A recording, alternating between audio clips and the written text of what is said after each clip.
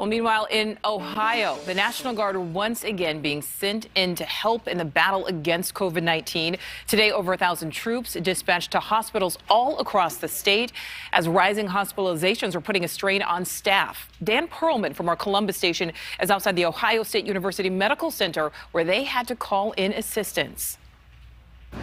Well, it's been three days since Ohio Governor Mike DeWine announced he would mobilize more than 1,000 members of the Ohio National Guard to support the state's hospitals. The state's health department telling me today they are working with the National Guard to train those members as quickly and safely as possible.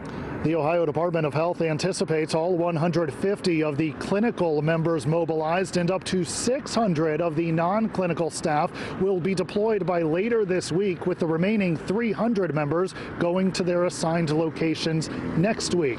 Here in central Ohio, the three adult hospital systems all tell us they have requested non-clinical supports from the National Guard. A spokesperson for the Ohio State University Wexner Medical Center, for example, told me they requested 22 members to assist with food service and 33 to assist with environmental services, such as cleaning rooms. Nationwide Children's Hospital says they are assessing the need for National Guard assistance on a daily basis, but they have not requested that help.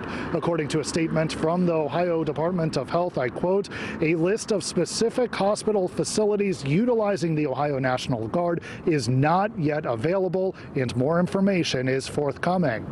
In the meantime, some National Guard members are already on the ground and will help launch a testing site tomorrow in Northeast Ohio, where officials are seeing a surge in COVID 19 infections. Nichole?